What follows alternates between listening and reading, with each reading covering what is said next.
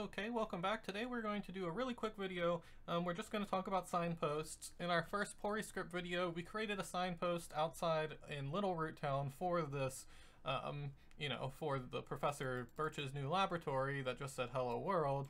Um, we created it here, um, but I didn't actually talk about the signpost object, so I figured I might as well um, talk about signs in a short short video. So the sign is one of the event object types that we can add into our world.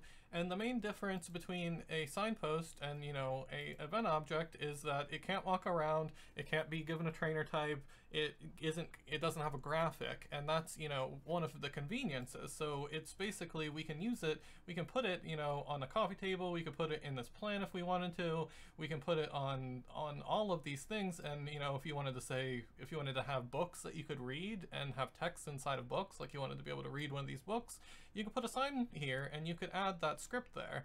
Now, obviously, it's different than, than an event object. An event object has a graphic, and you can call a script whenever you click on the event object, whenever you press the A button on it. And the same thing is true for the sign, but the sign is more flexible in certain ways because you can put it wherever. It can't move around, um, like an event object can. Um, it can't be turned into a trainer, um, it can't be added into a Pokeball, but you can run whatever scripts you want from these signposts. They're just stationary scripts that they're different than the triggers where you have to walk onto a trigger, but instead you can click them and you can change, you know, the direction that you can click on them from if you want to only be able to click on it from the south or from any of the directions, it doesn't matter, but that is signposts. Not complicated at all. Um, we wrote a very simple script for these signposts here. They use the same one. It says don't touch that. Lock all says don't touch that. It applies this movement, which just makes us walk left twice, because like I said, you can put more than just text in the signposts. It waits for the movement, and then it releases.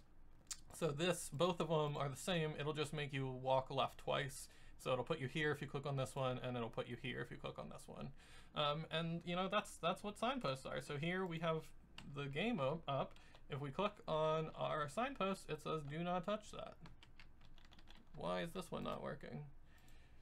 Player facing south. Oh, I'm not facing south. That's why. I'm facing north. I'm coming from the south.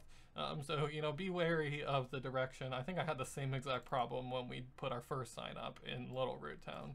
Um, but yeah, so that is signposts, and I'm gonna end the video because again, I only wanted this one to be three minutes anyway. So if you have any questions, make sure to leave a comment. This is a very simple topic. I almost didn't want to didn't want to give it its own video because we already talked about signposts, but I figured I might as well.